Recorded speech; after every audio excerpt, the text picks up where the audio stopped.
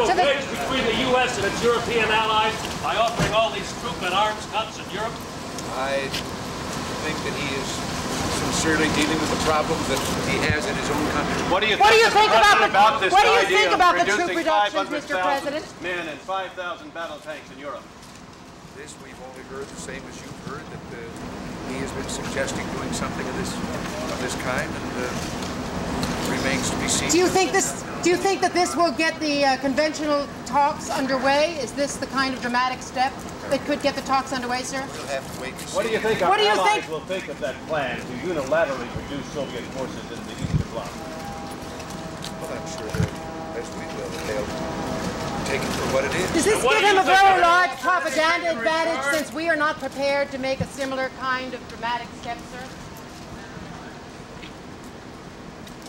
I don't say that we're not prepared. You know, there have been no negotiations. This is a unilateral act on their part.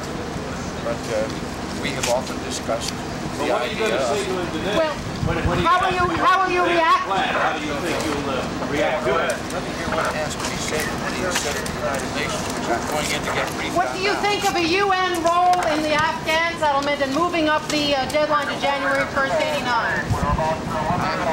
About that, February 15th, when we vote. Would we stop supplying the guerrillas on January 1st in some sort of an agreement as he has proposed? Again, you're asking about things that we haven't, we haven't discussed. He said the Arafat decision was wrong, Mr. President. Everybody's entitled to their opinion.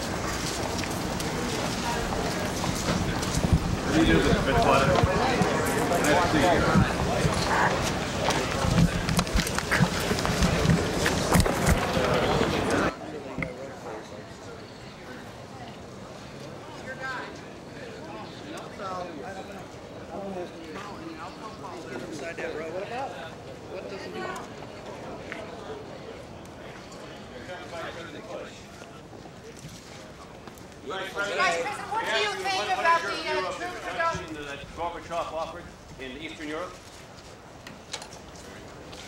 Very little about it. Well, well he's, it's, it's a large unilateral reduction, Mr. Bush. What, Meet with him soon? Find out what he's talking about. When you meet Isn't him it- soon, he sounds like he wants to have a meeting with you right away. I have one right in here. Isn't it give, Doesn't it doesn't it give them, doesn't he put you on the defensive, sir? Mr.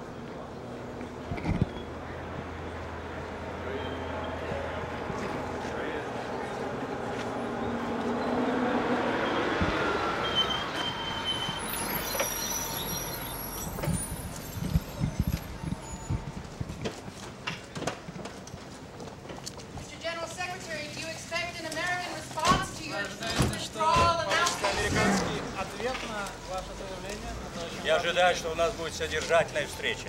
I expect that we're going to have a substantive meeting.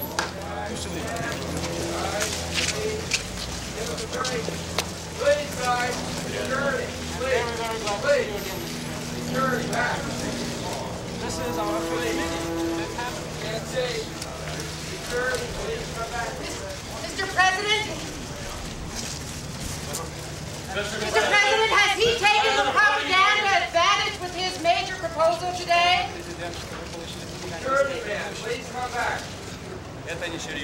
This is not serious. President Gorbachev. What's not serious? Well, now, I think we have to go into our meeting.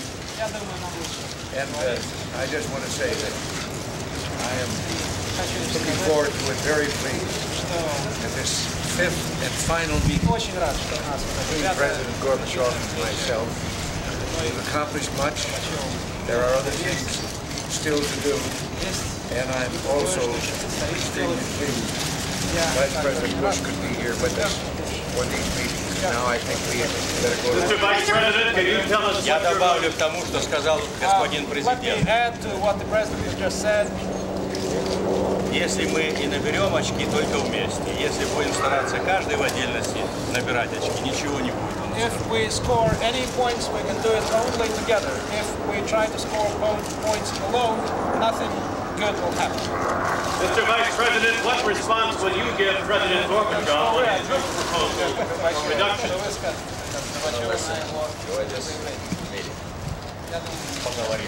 Do you think the I was, I was convention? talking to the Vice Do you think the conventional arms talks can now move forward more quickly?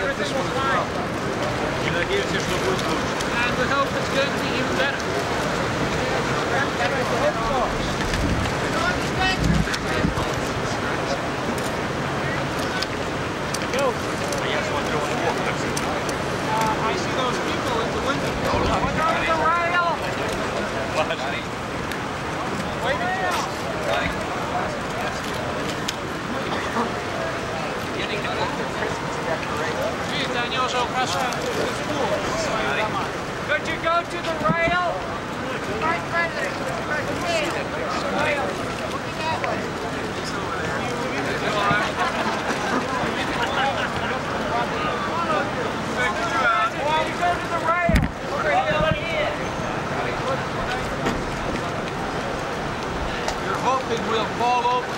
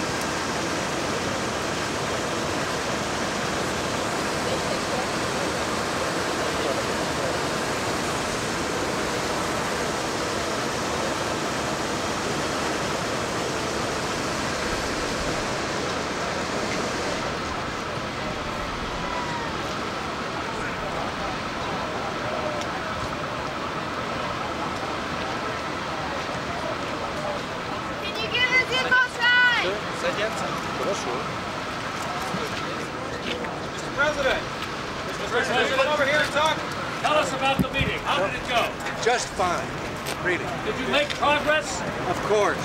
And we've agreed to continue the progress we've made under the new administration. Is there another meeting set, Mr. President? No, no.